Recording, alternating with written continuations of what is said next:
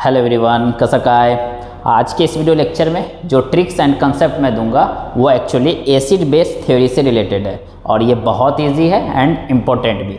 तो सबसे पहले अगर हम बात करें कि दुनिया का कोई भी कंपाउंड अगर आपको दे दिया जाए और वो एसिड है या बेस तो उसको पहचानने के तीन तरीके हैं राइट सबसे पहले अरिहेनियस थ्योरी आई, ये सब साइंटिस्ट के नेम है, उसके बाद ब्रॉन्स्टेड उसके बाद लुइस राइट तो अरिहेनियस के अकॉर्डिंग एसिड वो है जो H प्लस डोनेट कर दे राइट और आप कैसे पहचानेंगे कि वो H प्लस डोनेट कर सकता है? तो वो हाइड्रोजन फ्लोरीन से ऑक्सीजन से या नाइट्रोजन से अटैच होना चाहिए। फ़ोन वर्ड से हम याद रख सकते हैं। या फिर sp कार्बन से कॉर्नर वाले sp कार्बन से अटैच हो तो वो भी एसिडिक हाइड्रोजन में आ जाता है राइट और अगर कोई ओ OH माइनस दे रहा है तो उसको बोलेंगे बेस अकॉर्डिंग टू अरिहेनियस ये था फॉर एग्जांपल जैसे यहाँ पे ये हाइड्रोजन ऑक्सीजन से अटैच है तो एसिड है. यहाँ पे भी ये हाइड्रोजन ऑक्सीजन से अटैच है तो ये एसिड हो गए राइट NaOH तो यहाँ पे मेटल के हाइड्रोक्साइड है तो ओ OH माइनस देगा तो बेस और ये सब एच प्लस देंगे, इसलिए एसिड यहाँ पे बी ओ एच होल्थराइस एक्चुअली में इसको लिखेंगे तो H three B O three boron के कंपाउंड है ये बोरिक एसिड तो ध्यान दें, ये एसिड है, इसमें कंफ्यूज कर देता है कभी कभी बट यहीं पे पी ओ एच होल्थराइस होगा. तो एक्चुअली में ये क्या है? H three P O three phosphorus acid तो फिर ये क्या हो जाएँगे? ये भी एसिड हो जाएँगे। तो डेफिनेटली नॉन मेटल के जो ऑक्साइड होते हैं, वो एसिडिक होते हैं और मेटल के ऑक्साइड या हाइड्रोक्साइड बेसिक होते हैं। तो इसका जो कहना था कि अगर कोई वाटर में ऐड करने के बाद हेच प्लस दे रहा है तो एसिड ओ एच माइनस दे रहा है तो बेस और कैसे पहचानेंगे? उसका सिंपल तरीका ये है।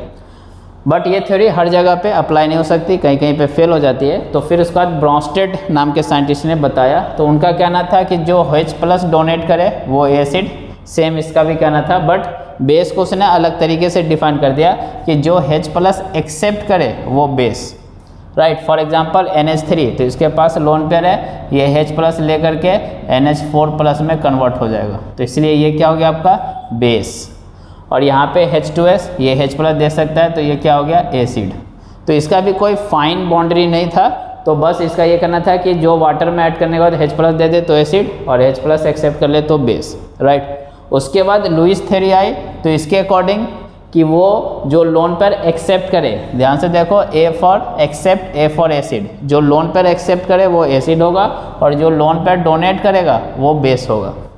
फॉर एग्ज़ाम्पल जैसे यहाँ पे नाइट्रोजन के पास लोन पर है तो ये लुइस बेस कहलाएँगे. वैसे यहाँ पे नाइट्रोजन के पास लोन पर है तो ये भी लुइस बेस यहाँ पे क्लोरीन के पास लोन पर है तो ये भी लुइस बेस यहाँ पे सल्फ़र के पास लोन पेयर है तो लुइस बेस तो आपको लुइस के अकॉर्डिंग एसिड बेस कैसे पहचाना? डेट्स वेरी इजी अगर उसके पास लोन पेयर है तो लुइस बेस और अगर वैकेंट और वाइटल है, जैसे एलमिनियम के पास तो लुइस एसिड जो लोन पेयर एक्सेप्ट कर सके।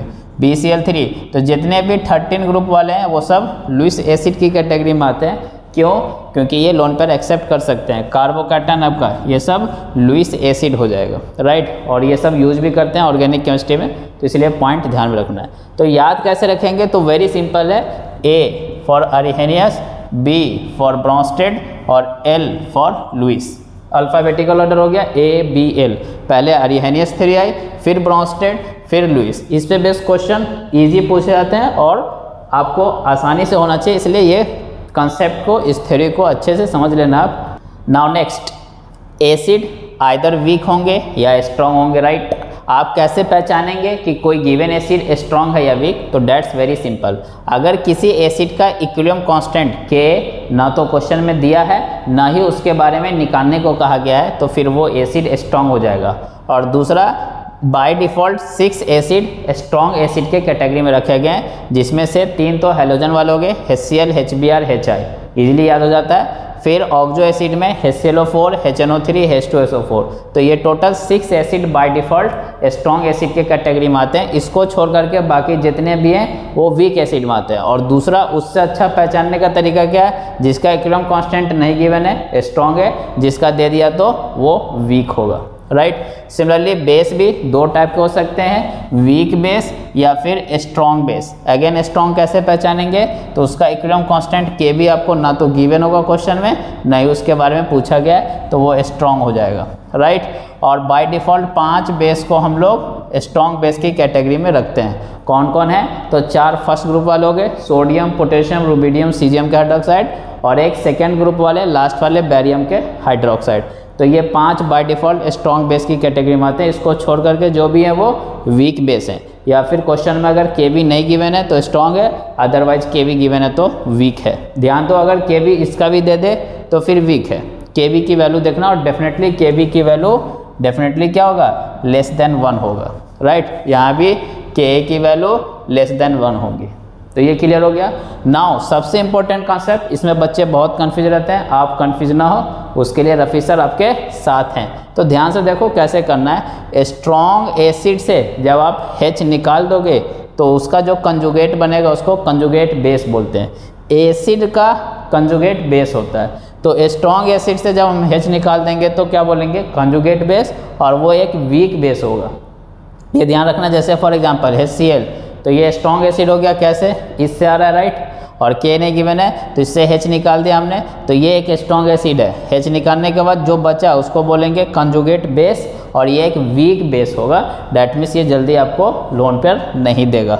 और आप कैसे पहचानेंगे कि एसिड किसमें लगाना है बेस किसमें तो वेरी सिंपल है बेटा। सब में यही पॉइंट लगेगा। H प्लस का डिफरेंस होता है। ओनली एक हाइड्रोजन का डिफरेंस होगा उसके फॉर्मूला में।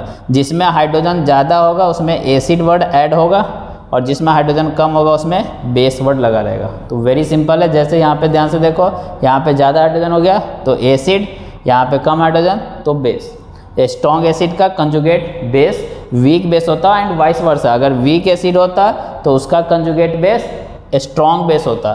तो ध्यान दें, अगर वीक एसिड है तो उसका कॉन्जुगेट बेस क्या हो जाएगा? स्ट्रॉन्ग बेस हो जाएगा। तो इस पे बेस क्वेश्चन कैसे पूछ जाते हैं, वो वेरी इंपॉर्टेंट कभी भी स्ट्रॉन्ग एसिड से वीक एसिड ये बन सकता है। ये पॉसिबल है। स्ट्रॉन्ग एसिड से weak acid but weak acid से स्ट्रॉन्ग एसिड ये कभी नहीं बन सकता। तो आप समझ सकते हो कि कोई स्ट्रॉन्ग पर्सन वीक पर्सन को रिप्लेस कर सकता है राइट लेकिन वीक पर्सन स्ट्रॉन्ग पर्सन को रिप्लेस कर दे, ऐसा नहीं हो सकता। तो ये ध्यान रखना, इस टाइप से पूछा जा सकता है। तो वेरी सिंपल है, ये पॉइंट ध्यान में रखना। वैसे ही बेस के केस में स्ट्रॉन्ग बेस का जो कंजुगेट होगा, उसको एसिड बोलेंगे। बेस के कंजुगेट को एसिड बोलते हैं। जैसे फॉर एग्जांपल एन तो ये एक स्ट्रॉन्ग बेस है, क्योंकि यहाँ से इससे ओ एच माइनस हटा दिया तो एन प्लस तो ये कंजुगेट एसिड हो गया। और ये by the way weak acid होगा। तो स्ट्रॉन्ग बेस का जो कंजुगेट होता है, वो एसिड होता है और वो वीक एसिड होता है, ये ध्यान रखना। And vice versa weak base होता तो उसका कंजुगेट एसिड स्ट्रॉन्ग एसिड होता तो ये पॉइंट को आपको ध्यान में रखना है। नाउ अब हम अप्लीकेशन की बात करते हैं। क्वेश्चन नंबर वन में which of the following can not act as Lewis base तो लुइस के अकॉर्डिंग बेस वो नहीं है जो लोन पेयर ना दे सके। ध्यान से देखो, यहाँ पे नाइट्रोजन के पास लोन पेयर होगा, बॉन्डिंग का कंसेप्ट लगाना है। यहाँ पे सल्फ़र के पास लोन पेयर होगा, क्योंकि चार ही बॉन्ड बनाया है। यहाँ पे पी सी एल फाइव में कोई लोन पेयर नहीं है तो यही लुइस बेस नहीं हो सकता तो ऑप्शन सी हो जाएगा, क्योंकि यहाँ पे सी एल एफ़ थ्री में क्लोरीन के पास दो लोन पेयर। तो लुइस के अकॉर्डिंग वेरी सिंपल और इस पर ज़्यादा क्वेश्चन पूछे जाते हैं तो ध्यान रखना है। नेक्स्ट क्वेश्चन इज़ कि amphoteric behaviour of water is explain by water amphoteric है नेचर में डेट मीन्स ये एसिड का भी काम कर सकता है बेस का भी तो कौन सी थ्योरी से एक्सप्लेन होता है? तो लुइस के अकॉर्डिंग अगर ध्यान से देखो तो वाटर के पास क्या है? लोन पेयर तो ये लुइस बेस का काम कर सकता है, लेकिन ये लोन पेयर एक्सेप्ट नहीं कर सकता, कोई वैकेंट और वाइटल नहीं है तो इसलिए लुइस तो इसको एक्सप्लेन नहीं कर सकता। आरिहेनियस के अकॉर्डिंग ये एच प्लस दे सकता है right but O H minus accept नहीं कर सकता तो इसलिए ये भी नहीं एक्सप्लेन कर सकता। बट ब्रॉन्स्टेड के अकॉर्डिंग ये एक्सप्लेन हो जाएँगे, क्योंकि वाटर इन्फोटेरिक कैसे है? तो जैसे वाटर की रिएक्शन आप NH3 से कराओगे तो यहाँ पे वाटर NH3 को H दे देगा तो NH4 प्लस बन जाता है, और OH माइनस तो वाटर ने क्या दिया इसको? H प्लस तो यहाँ पे वाटर किसका काम कर रहा है आपका? एसिड का। तो ये कौन हो गया? बेस सिमिलरली अगर यहीं पे वाटर की रिएक्शन सपोज़ करो आप H2S से कराएँगे तो क्या होगा? तो यहाँ पे वाटर इससे H प्लस ले लेगा। तो खुद क्या बन जाएगा? एच थ्री प्लस और एच एस माइनस क्योंकि सल्फ़र बड़ा साइज़ है, इस पर माइनस ज़्यादा स्टेबल होगा। इसलिए हमने एच ओ माइनस नहीं बनाया ओ एच माइनस नहीं। तो यहाँ पे क्या हुआ? तो ध्यान से देखो, इसने इससे एच प्लस लिया तो ये बेस का काम कर रहा है और ये एसिड का। तो water can act as acid as well as base according to Bronsted concept और यहाँ पे उसका वेरिफिकेशन है। तो इस पॉइंट को ध्यान में रखना है। क्वेश्चन नंबर थ्री में again similar type question which is Lewis acid तो लुइस के अकॉर्डिंग एसिड वो है जो लोन पेयर एक्सेप्ट कर सके। लोन पेयर कौन एक्सेप्ट कर सकता है? जिसके पास वैकेंट और वाइटल हो। और किसके पास होगा? तो वो बता दिया थर्टीन ग्रुप वाले। यहाँ पे ये फिफ्टीन है, ये नाइट्रोजन फिफ्टीन है, ये तो फ़र्स्ट ग्रुप का, ये बोरॉन हो गया आपका थर्टीन तो इसी के पास क्यों? क्योंकि उसके पास वैकेंट और वाइटल होगा।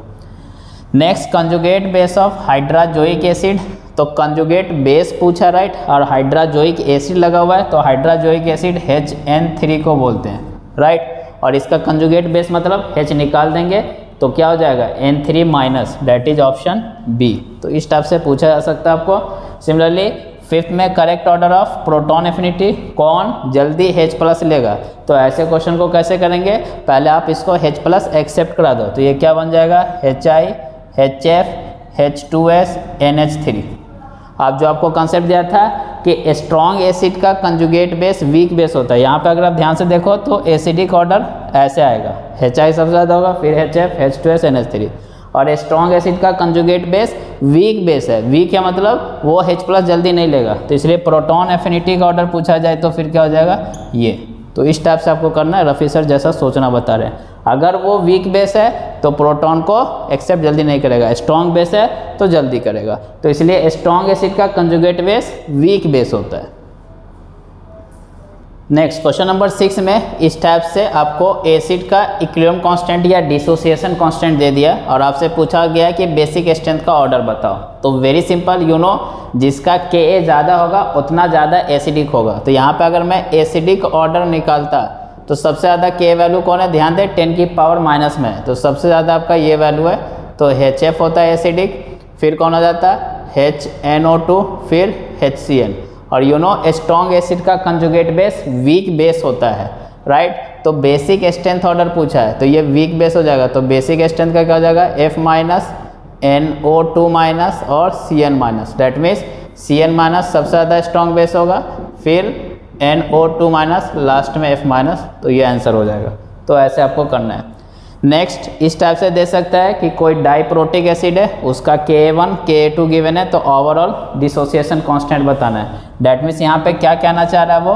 कि जो एच टू ए है वो एच ए माइनस और एच प्लस में गया तो आपको के वन टेन की पावर माइनस फाइव है। फिर ये एच ए माइनस आपका एच प्लस और ए माइनस टू में गया तो फाइव इंटू टेन की पावर माइनस टेन है। तो ओवरऑल मतलब दोनों को ऐड कर देना है। तो ये कैंसिल हो जाएगा।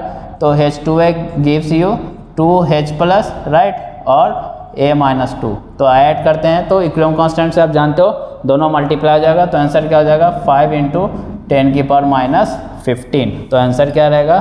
फाइव इंटू टेन की power minus fifteen question number eight में conjugate base of O H minus ऐसे क्वेश्चन में बच्चे बहुत गलती करते हैं। ध्यान दो कंजुगेट बेस पूछा है। किसका? ओ एच माइनस का। डेट मीन्स एसिड का कंजुगेट बेस होता है राइट तो इसका मतलब ये खुद क्या है?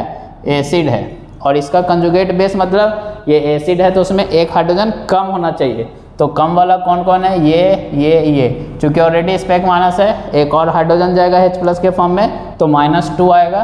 तो आंसर क्या रहेगा आपका? D similarly conjugate base of this again तो कंजुगेट बेस पूछा है। डेट मीन्स ये खुद क्या है? एसिड एसिड का कंजुगेट बेस होता है। और ये अगर एसिड है तो इससे एक हाइड्रोजन कम करना पड़ेगा। अभी आपको कॉन्सेप्ट दिया था ऑलवेज एसिड में एक ज़्यादा हाइड्रोजन होता है और कंजुगेट बेस में उससे एक कम। तो इससे एक कम कौन सा हो जाएगा?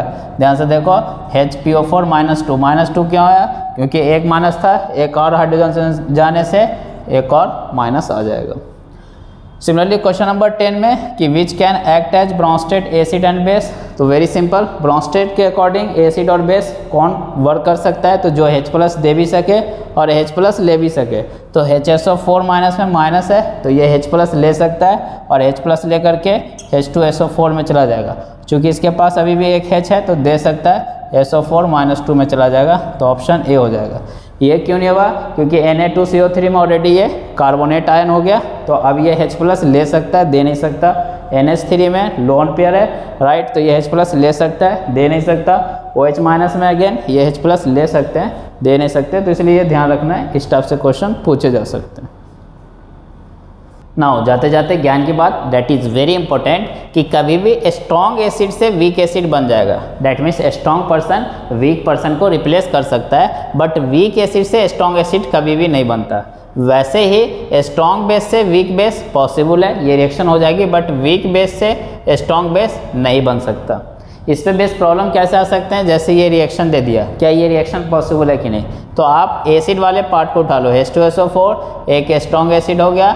C H three C O H एक वीक एसिड हो गया। तो स्ट्रॉन्ग एसिड से वीक एसिड बन रहा डेट मीन्स ये रिएक्शन हो जाएगी। ओनली एसिड वाले पे ध्यान देना। जैसे इस केस में आपको ये क्लियरली मालूम है कि ये एक वीक एसिड है एसिटिक एसिड और यहाँ पे ये मालूम है कि ये एक स्ट्रॉन्ग एसिड है। तो वीक एसिड से स्ट्रॉन्ग बढ़ रहा है तो ये रिएक्शन नहीं होगी। तो ऐसे चार ऑप्शन क्रिएट करके दे सकता है कि कौन सी रिएक्शन स्पॉन्टेनियस है नॉन स्पॉन्टेनियस है तो आप कर सकते हो। सिमिलरली जैसे क्या ये रिएक्शन पॉसिबल है, ऐसा पूछ ले। तो यहाँ पे ध्यान से देखो तो एच एक स्ट्रॉन्ग एसिड था एच टू थ्री एक वीक एसिड तो स्ट्रॉन्ग से वीक बन रहा है डेट मीन्स ये रिएक्शन हो जाएगी। बट अगर इस केस में अगर आप ध्यान से देखें तो ये एक वीक एसिड है और ये एक स्ट्रॉन्ग एसिड है। वीक से स्ट्रॉन्ग बन रहा है तो नहीं हो पाएगा। तो बस इस पॉइंट को ध्यान रखना, ऐसे क्वेश्चन कई बार पूछे गए हैं। तो आई होप मेरा ये प्रयास आपको अच्छा लगा होगा। इसमें हमने सारे बेसिक पार्ट को कवर किए हैं। नेक्स्ट वीडियो लेक्चर में हम बात करेंगे कि एसिडिक सॉल्यूशन या बेसिक सॉल्यूशन का पीएच कैसे निकालेंगे। Thank you